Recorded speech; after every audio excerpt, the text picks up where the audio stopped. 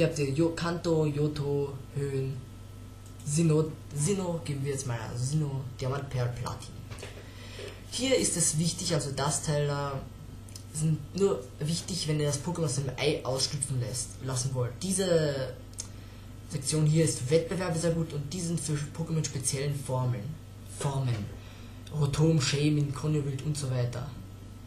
Zuletzt also müsst ihr noch das Ei da hier auswählen und zwar erhalten, die erste Reihe, erhalten ist das Datum, wann es gefangen habt und zwar geschenkt, also ich glaube das ist, wenn ihr die Eier, die Eier bekommen habt. Bei erhalten gehen wir mal ein, ja, das heutige Datum 12 und ich habe keinen Plan, was wir heute für ein Datum haben. Ich glaube, es ist, ist das, ist das schon 1. Februar, sicher. Ich werfe mal ein 3. Ich weiß nicht, was ich da gemacht habe, aber ich glaube, so stimmt es jetzt. So, haben wir alles? Ja, ja, wir haben alles. So, wir haben alles. Fähigkeit, Item, bla bla bla. Zum Schluss geht ihr noch hier auf Stat bearbeiten. Und geht auf Max. Ihr könnt sehen, wie die Werte dieses Pikachus dann aussehen werden. Also ja, ich finde es nicht so hoch, aber beim Pikachu gut. Dann auf OK und beim Ganzen auf OK. Und ihr seht, das Pikachu ist jetzt hier eingeblendet, im ersten Slot. Jetzt kommen wir zu einem weit verbreiteten Problem ja auch. Zum Beispiel wie speichere ich das jetzt, um es dann später verwenden zu können? Dazu geht ihr hier auf Export AR. Hier werdet ihr darauf hingewiesen, wenn den Cheat aktiviert, also mit L plus R. Und dann wählt ihr aus, wo das Pokémon erscheinen soll. Ich nehme einfach Party, also Team, da geht der Party Amount und dann wählt ihr den Platz an. Also erstes, erster Platz.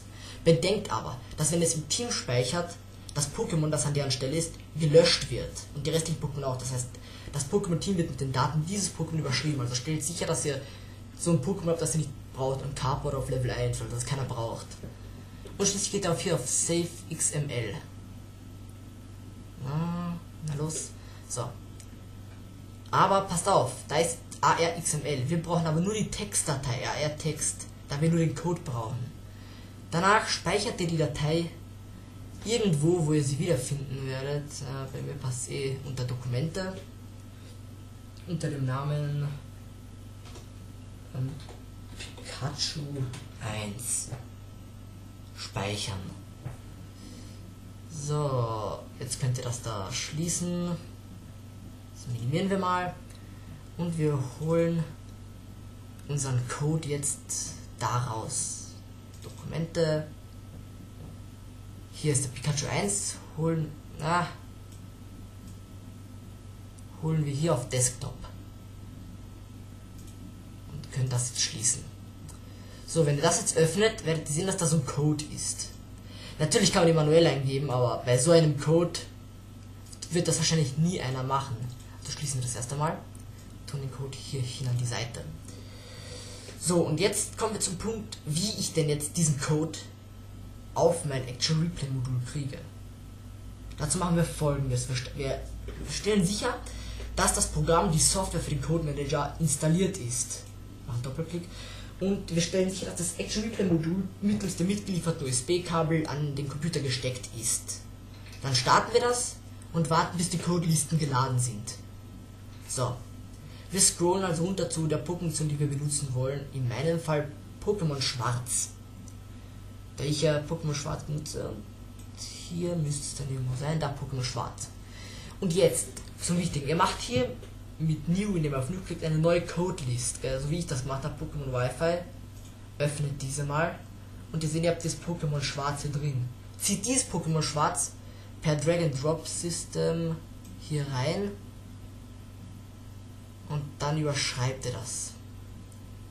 Danach öffnet ihr auch das Pokémon Schwarz, öffnet irgendwo zum Beispiel Misscodes und klickt dann irgendwo rein auf irgendwo im Rechtsklick. Und dann ist schon da Add New Cheat. Da geht er hin.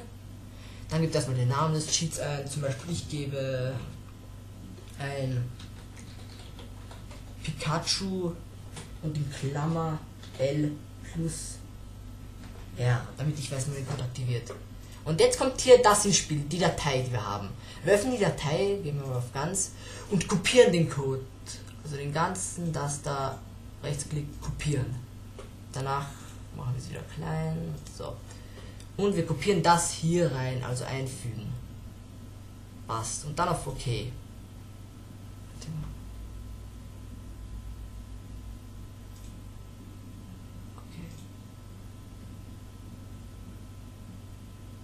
Okay, ihr werdet jetzt darauf gezeigt.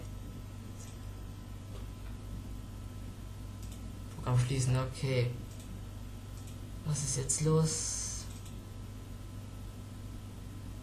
Ach je.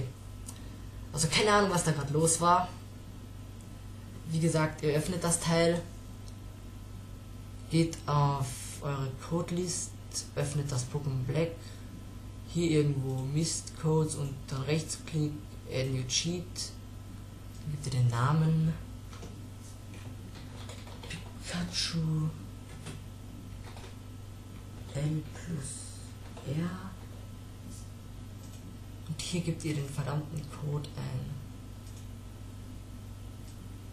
Sortieren, minimieren, verkleinern, Code einfügen, okay. Ja, so jetzt geht's. Wie ihr sehen kann, steht dann hier Pikachu L plus R.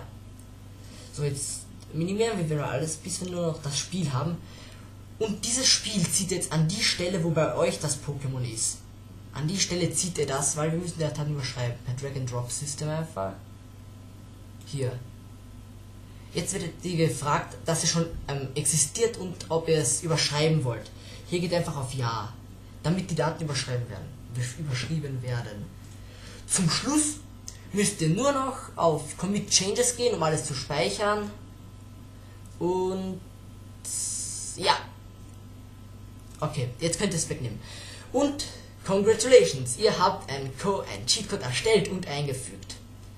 Tja, falls Fragen, also wie Probleme wie eben, also vorhin aufgetreten sind, dass es mal nicht funktioniert, ihr könnt mir gerne auf YouTube eine Nachricht schicken. Ich werde diese Fragen gerne beantworten, falls etwas unklar ist. Die Links auch zu den Übersetzungen, Englisch-Deutsch-Übersetzungen, werden, es wird alles in der Beschreibung vorhanden sein. Und tja, tja, ich weiß nicht, was ich sagen soll. Einfach ciao.